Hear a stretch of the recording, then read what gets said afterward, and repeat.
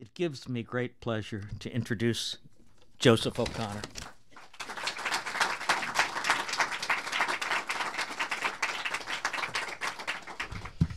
Well, thank you very much, uh, Paul, for that lovely introduction. Maybe we'll fix this a bit. Thank you. I don't speak French quite as beautifully, though. I must say it was great to hear you saying "Prix Madeleine Zepter" the way you did. Was, you're a man of many talents, Paul. Um, it's a great pleasure to be here again after we think eight years, seven or eight years, and I've given a lot of readings all over the world, many parts of the United States, but I have a particular treasured memory of that afternoon here at Prairie Lights.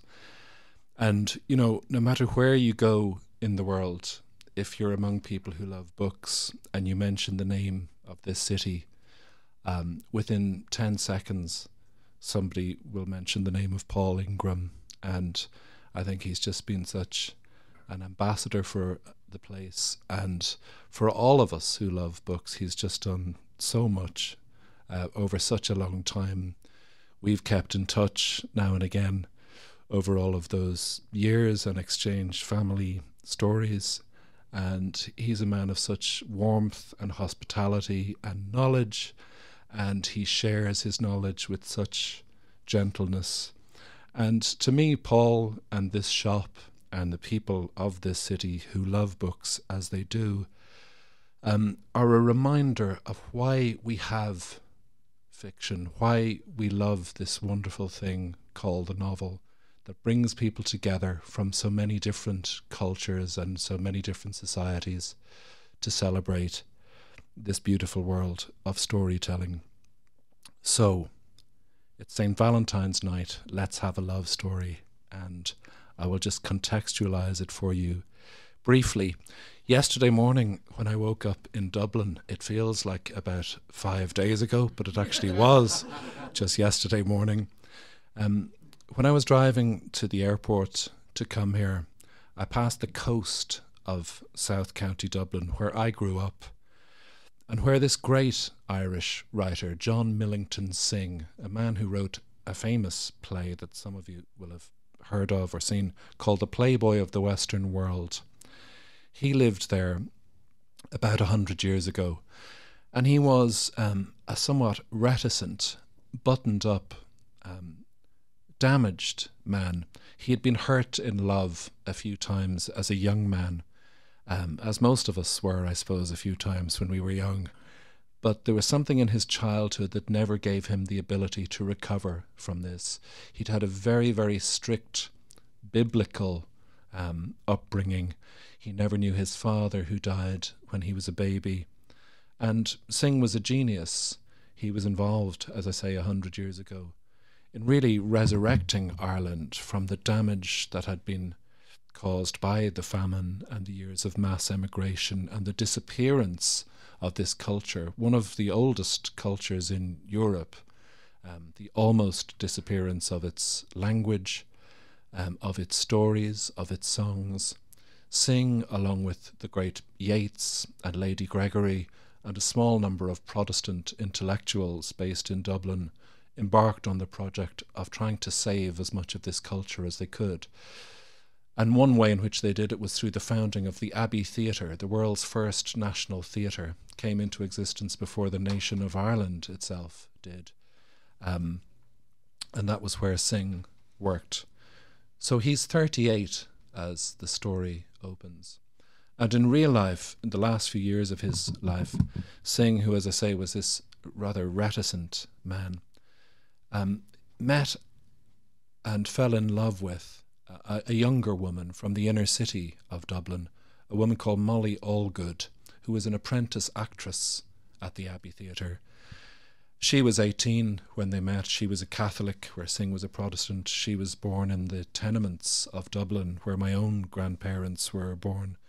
Was a very uh, fiery, garrulous, flirtatious, um, sparky young woman very different to Synge. So on paper, these two people have nothing in common, and yet they met and they fell in love um, because love overcomes difficulties, and the song of love is the song of heart's desire. And in real life, while we don't know much about the relationship, um, precisely because of all of the differences of class and background and religion which the relationship transgressed, it was conducted very much in secret. We only have one half of the correspondence.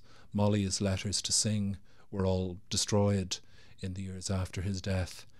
Um, so we don't know much about them. The couple of things we do know, they had little uh, sort of endearments, pet terms for each other, as lovers sometimes do. She used to call him Tramp.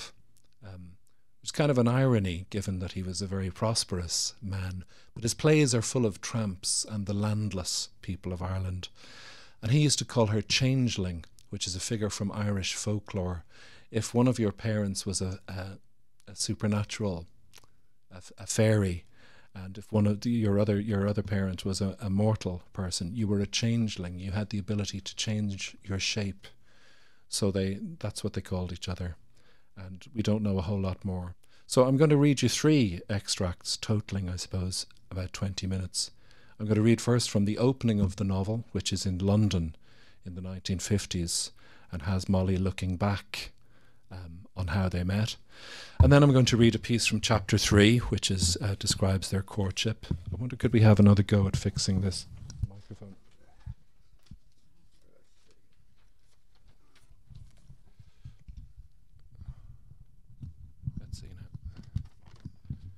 It's just to stop it sort of.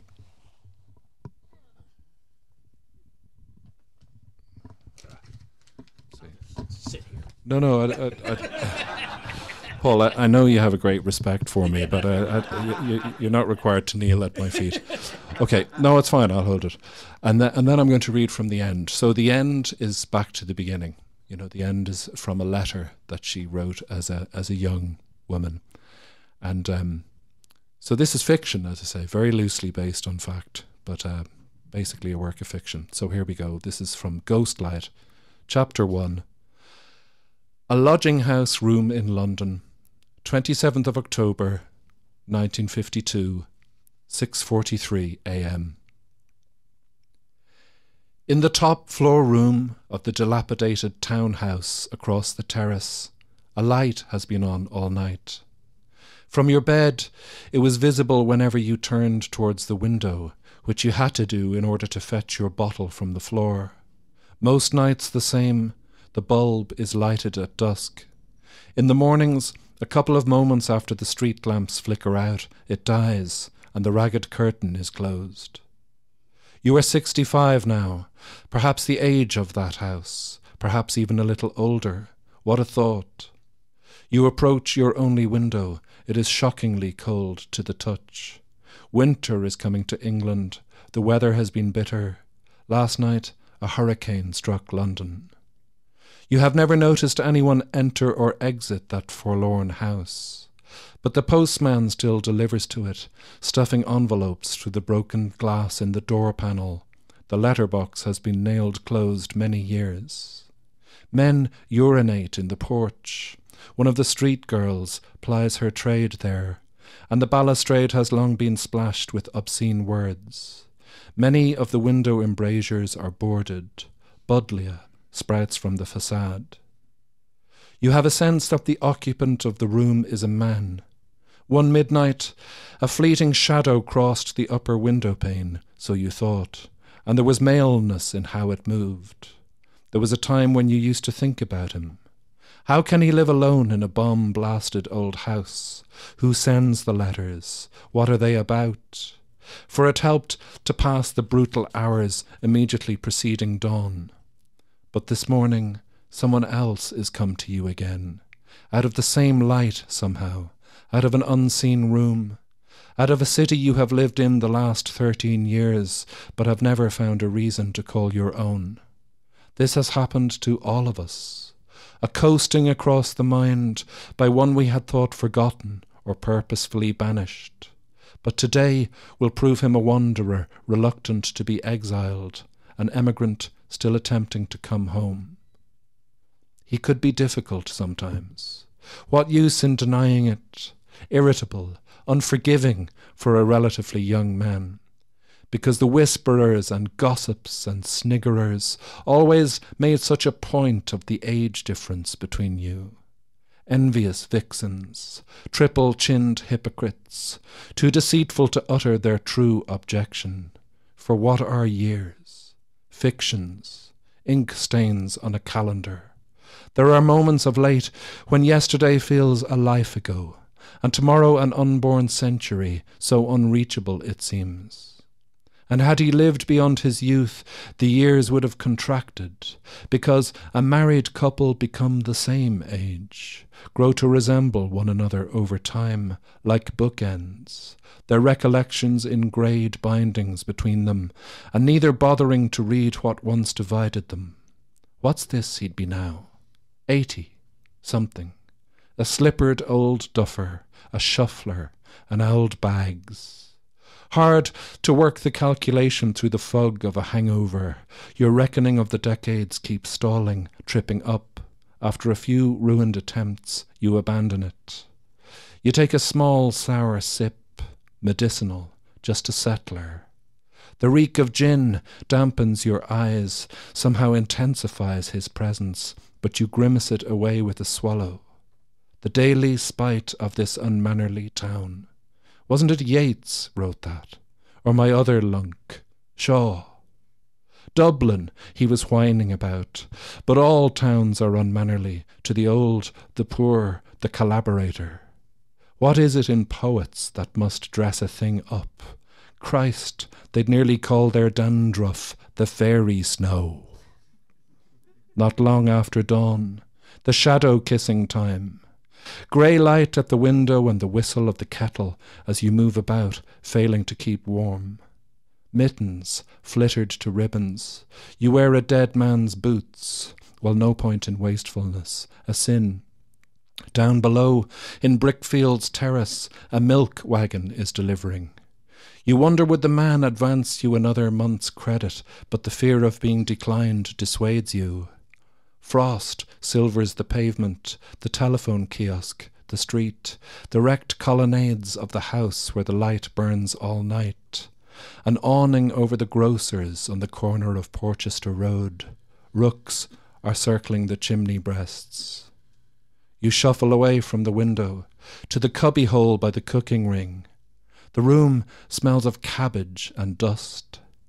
Somewhere below you, a wireless is playing too loudly, but you do not object to the interruption, find it oddly cheering sometimes. There are hours late at night when you miss its consolation.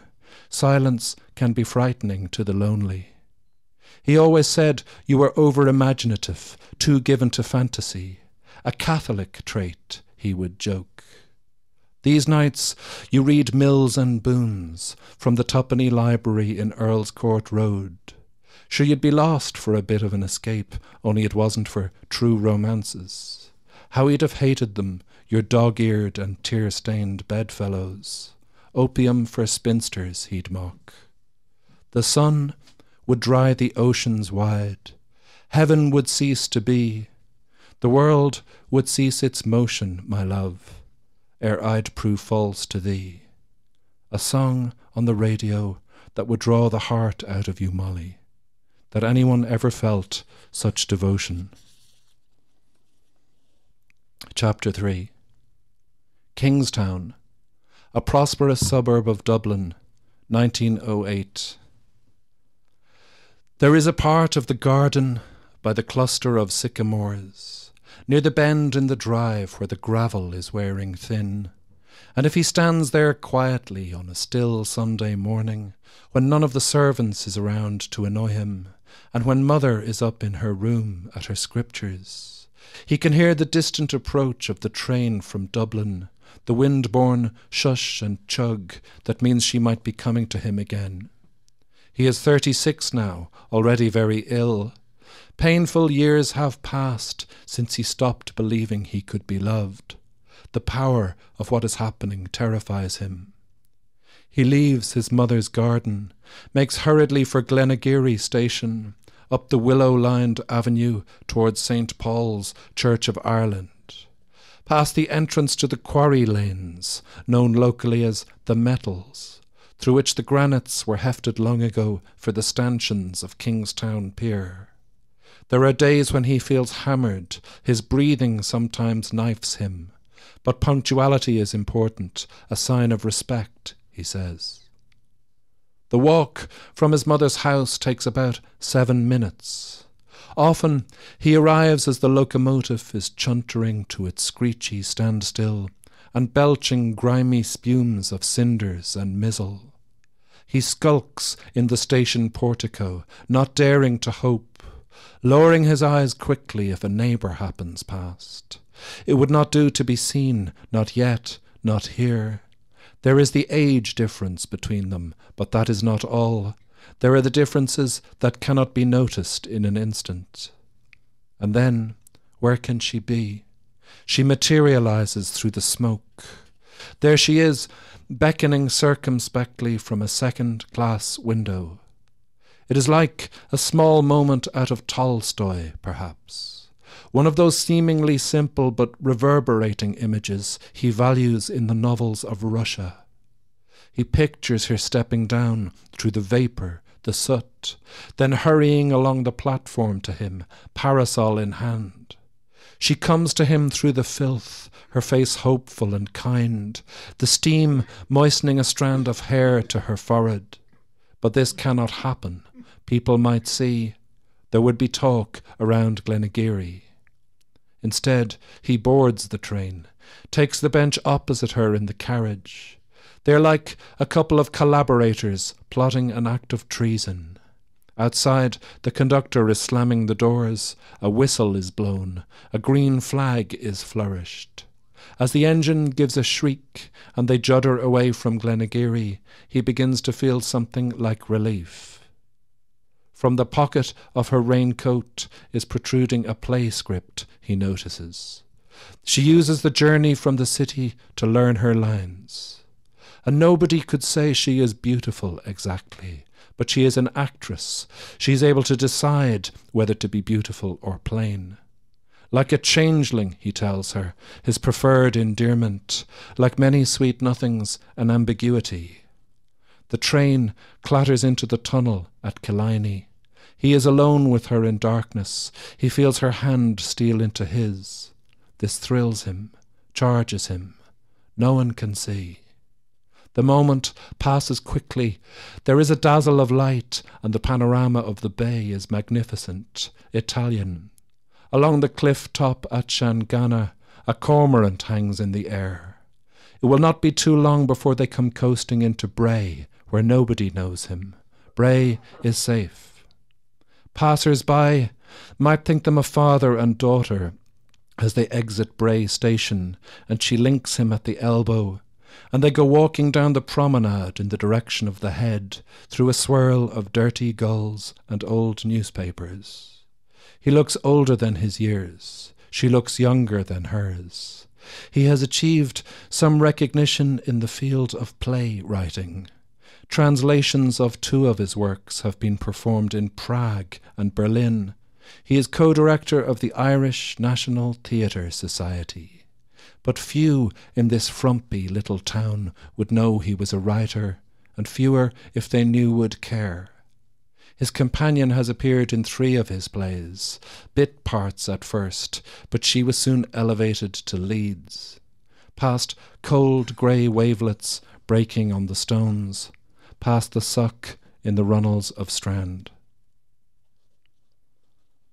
This is from the epilogue. Old letter found among her papers, unmailed.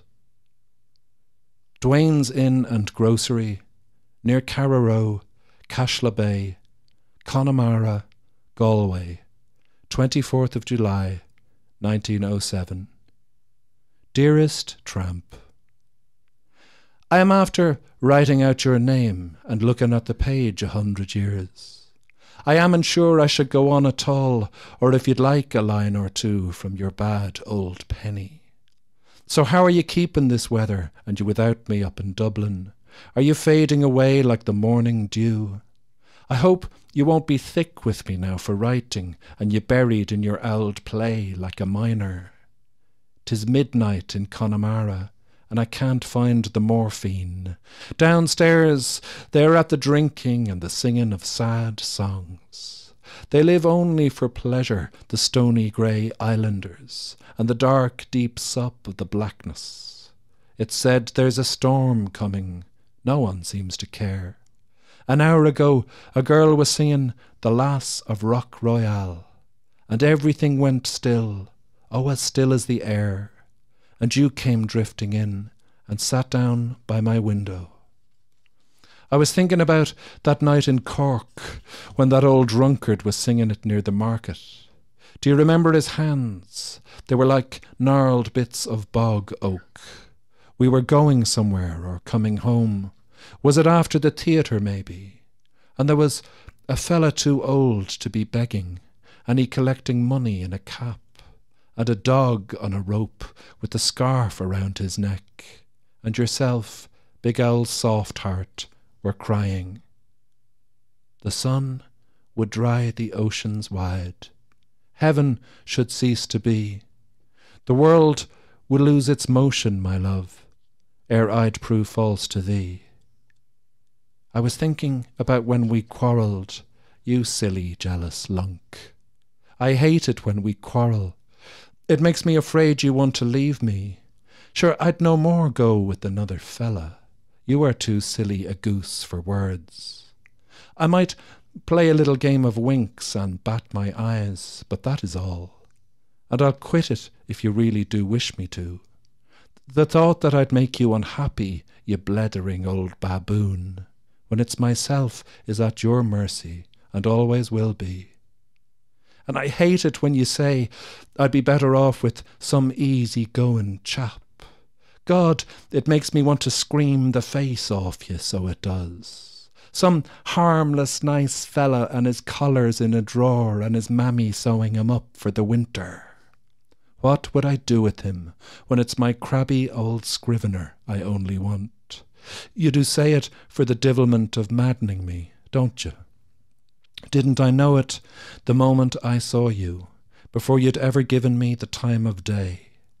Long before you ever touched me, or even I heard your name spoken. Girls' nonsense, I hear you saying. Never happens in life, only in storybooks and songs. And the queerest thing of all is, I agree with my tramper. I haven't hide nor hair of reasons for what's between us now.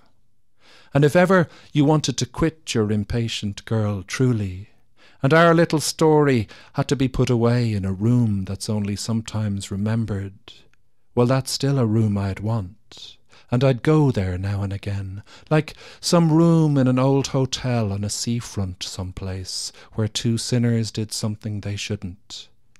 Do you mind what I am telling you? It is the God's honest truth.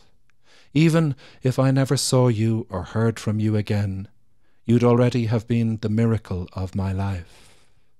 Oh, I can see you rolling your seven hundred year old eyes, and saying I make it all sound like a novel for dressmakers, you bitter mouthed old granny. But to find you in my mind at some moment of the morning, to see some sentence in a script I wonder what my tramper would say to it. Or to feel you glowing on like a lamp in my head, and to know I'd sleep in your arms that night. There's nothing in the world would ever give me the joy of that. Nothing in the great round world. You're forever at me to talk, only I am sometimes afraid.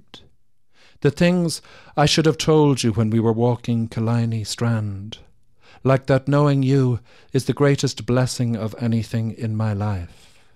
And I can't think up the phrases and the fiery words you have yourself, for there's not languages enough in all the living world to tell you of your preciousness to me. And everything about you gives me courage I never ever had. And without you, I'm like a ghost drifting through some old house of a life and there's nothing about you I don't love. You are so kindly and good and wise, and I love you, and so patient, and so loyal, and so manly. So now you know all.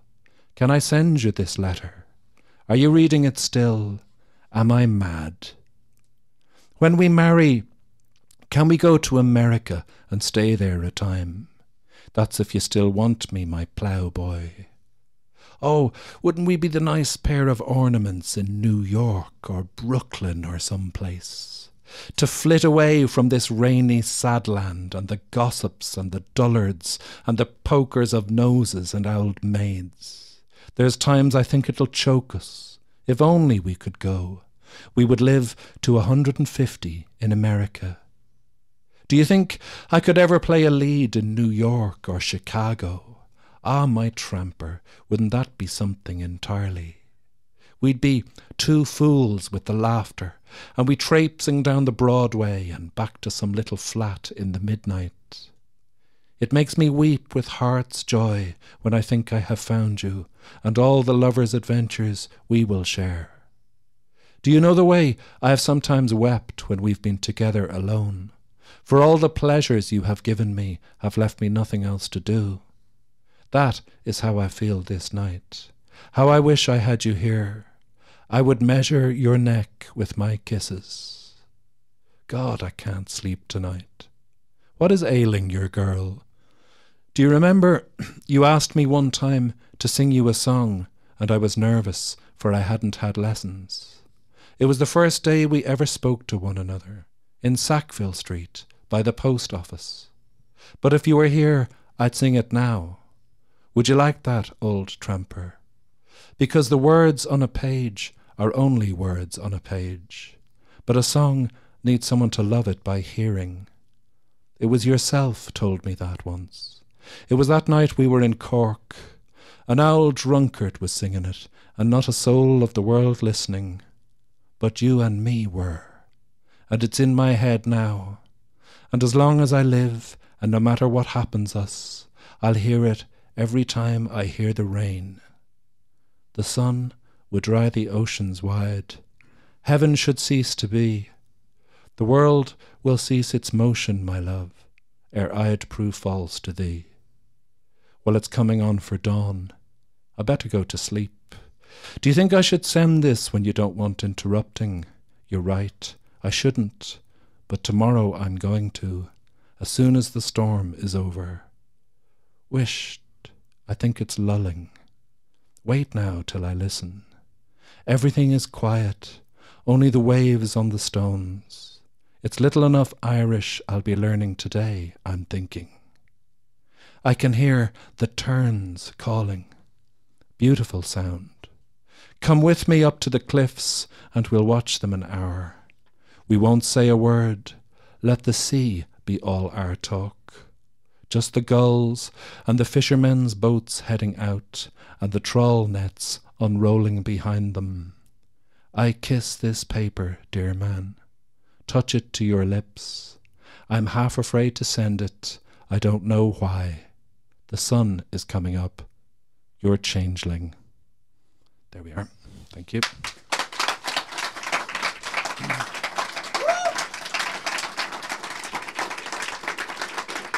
Thank you.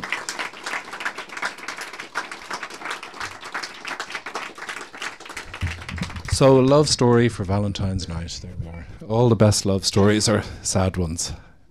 So, I'm happy to um, answer questions or listen to jokes or Oh. anything.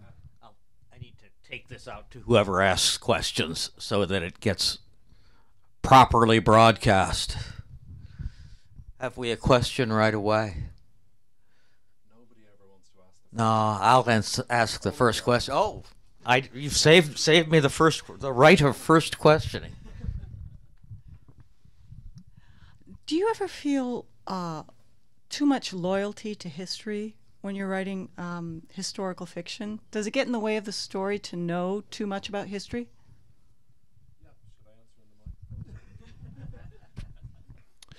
Um, well, yes is the answer. I mean, I think what a what a novel does is a completely different thing from from what the, the textbook or the or the work of history does, and you have to be very, very careful because um, I think the more researched a novel is, the more it sort of turns to ashes to the reader. And we've all read a particular sort of historical novel where, you know, you're just getting nicely caught up with the characters and everything is fine and you're really on board with them and you understand them.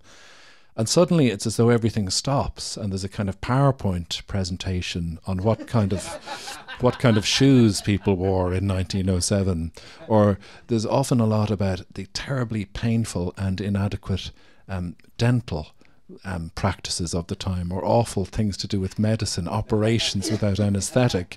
And you know what's happened is that the author has discovered a really fascinating article about this in, in the National Library and just cannot bear to leave it out, you know.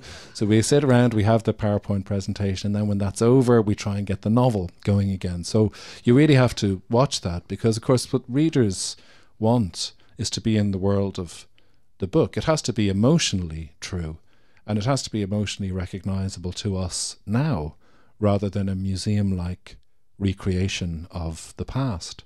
You know, so you have to tread that quite carefully. I mean, that said, any novel, whether it's set now or in the past, readers, if it engages with the real world, with the actual world at all, readers like you to get it right. You know, they're very, very unforgiving um, if if you get it wrong. I had a novel published a few years ago called Inishowen, which is an Irish place name, and um, it's set in a particular part of Ireland, County Donegal, if anybody has been there. And I, I had about halfway through, two characters walk down the street in Inishowen, and I said that they turned left and they passed the church, and then they turned right, and it was past Murphy's bar.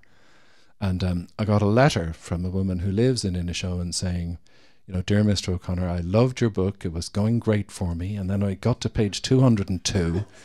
And I mean, everybody knows, everyone surely knows in the whole world that if you walk down that street and turn left, it's the Protestant church, not the Catholic church. And it's O'Connor's bar, it's not Murphy's bar. And it ruined the novel for me. I couldn't believe a single thing after that. So you have to be careful with that. And then when you're writing historical fiction, of course, there's a whole set of things you have to be careful about to do with the past. That you can't have um, characters know things that weren't known at the time. You have to be careful of anachronisms in language, people using words that hadn't been invented yet. Um, and in the privacy of this room, I will confess that um, in my book Star of the Sea, which I read from the last time I was here, a few of these slipped in to the to the book. Um, it's set in 1847 on a, famine ship journeying from Ireland. And in the opening scene, the prologue, which is very kind of operatic and symphonic, it's very, very sad and poignant. And the central character, Pius Mulvey, is leaving Ireland for the last time. Everybody's dying, everybody's heartbroken, and it's late at night on the ship. And he's looking up at the stars on a beautiful wintry night, a clear night like tonight, the silver stars, and he knows he'll never see Ireland, his homeland, again. And he's just leaving. The last few coastal islands are drifting past. And I thought just to sophisticate the scene slightly, that I, I would give him one really warm memory to take with him. And I decided that when this man, Pius Mulvey, was a boy, he was at school in Ireland, and the schoolmaster gave the children a little mnemonic, a little memory device to remember the sequence of the planets from the sun. And he's standing on the ship now, he's looking up at the stars, and it comes back to him. And the device is Mary's violet eyes make John sit up nights praying. And the initial letter of each of those words is one of the planets. So, lovely scene. The book comes out. And a man writes to me from the, the British, you know, Astro- Astronomical Society to say we, we, we have a bit of a problem here. Um, because, you know, he said, first of all, Mary's violet eyes make John sit up nights praying. Praying is for Pluto. Um, Pluto was discovered in the 1920s, I think. 1930, and we're still not totally sure about Pluto, isn't that right? We, we know there's something out there. We're not sure if it's Pluto, so he can't have known about it in 1847. So the book became successful, thankfully, despite all its errors. So it was reprinted. So I took it out, and I had Mary's violet eyes make John sit up nights, And then the same wretch wrote to me again. He could have told me the first time. He said, We still have a problem because sit up nights, nights is N for Neptune. Neptune was discovered in 1847, the, the year that your novel is set. So you're telling me that this poor, starving, illiterate man, you know, on the deck of the ship, this Connemara peasant, he's been reading the scientific journals. You know, he's very up to date. So, so I, so the book was reprinted. I took it out again. So it's like with every reprint of the book, the solar system is getting smaller all the time.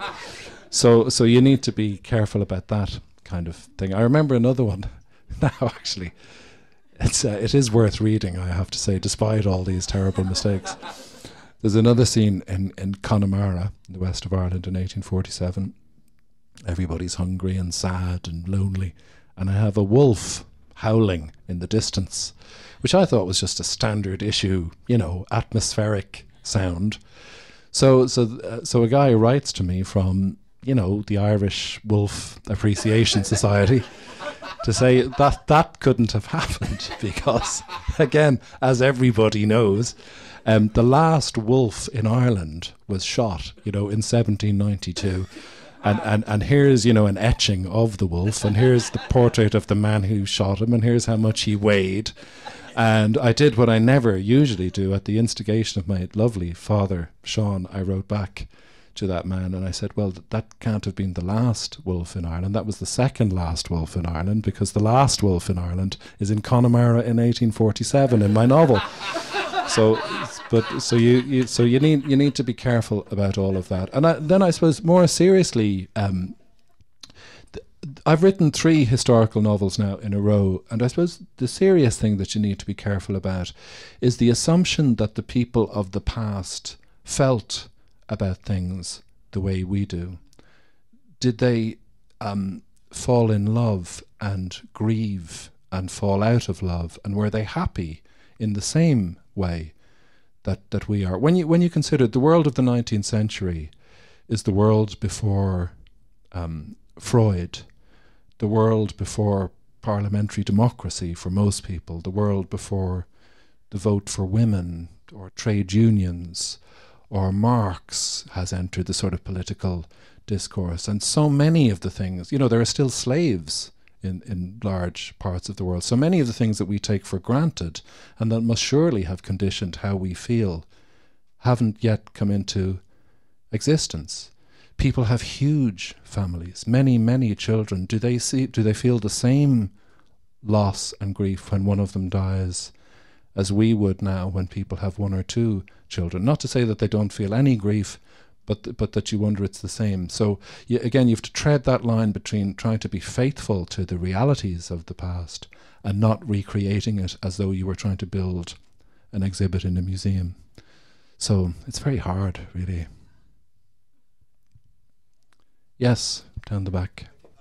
Hold on a second. Let me. Um, I was just wondering. All right. Um, considering what you've said that the difficulties of historical fiction are, I was wondering um, to you what, what the draws of writing that way are. If it's so hard, why do you do it? That's a damn good question. I suppose there's a certain tradition of writing, particularly in Ireland. You know, in my part of the world, it's there in the work of of Synge, who features in my book, and in the work of Yeats and Sean O'Casey, who also appear as characters. And in my tradition generally, of writing through a kind of lens that sometimes when you appear to be writing about A, you're actually writing about B all the time. So, Star of the Sea, which came out in 2002, or, or two or three in different countries, um, you know, it's a novel about a famine. Um, but if I were to boil it down to its constituent parts, I would say, well, here's a book about people who are hungry, a book about a world on the ship where, you know, the small number of people in first class have too much, and there are nightly arguments about the quality of the cooking. A lot of their food gets thrown out, and some of them feel that they're overweight, and um, there's a lot of arguing about position, who gets the nicest room. And down in steerage, where the vast majority of the ship are, people have nothing at nothing at all. Um, and that the people on the ship who have worked hardest in the sense of doing manual labor, just getting up early in the morning and working hard all day, have absolutely nothing, whereas the people on the ship who've never done any work in their lives have the most. Um, and it's a book about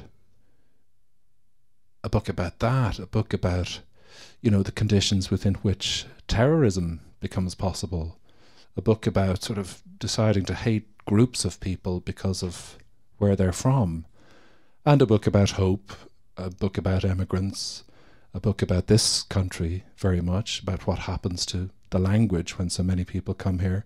And the more I describe it to myself, the more this book, set in 1847, begins to me to feel like a very familiar place indeed, you know? So I think every historical novel really is about the time in which it's written, whether even whether it wants to be or not, because a novel is made of language, and language exists in the political, in the social world, and it reflects our prejudices and our biases and our dreams and our aspirations and all of those things. It's why novels written now are not the same as novels written in the 19th century. It's like in the way that the great sort of Hollywood movies of ancient Rome that were made in the 1950s are really about America in the 1950s, far more than they are about ancient Rome. You know, a story is always, for it to work, it has to have a redolence of, of now. You know, so for me, it's really, it's a way of writing about now. I mean, the follow-up novel to Star of the Sea, this book here, Redemption Falls, which looks at what happens to the children of the ship um, about 20 years later. The American Civil War is on and various families on the ship are touched by this in various ways. It's a huge event in Irish immigrant history. Um, so, you know, that book was written at a time when, um, well, let me say Redemption Falls, it's a novel about a war, a novel about an era in American history when the president is very unpopular, you know, and again, it begins to feel like secretly a story about familiar times. So, so as a Star of the Sea is a novel about a famine. This one is about a war, and so I do all the cheerful subjects, as you can see. my my wife sometimes says to me, "I suppose you're going to do pestilence next," you know. Like, when can you write a nice happy love story, you know, that everyone will want to buy? So here it is. Not not that it's happy all the way through, but it's a love story at least. So anyway, yes. So a historical novel needs to be about now.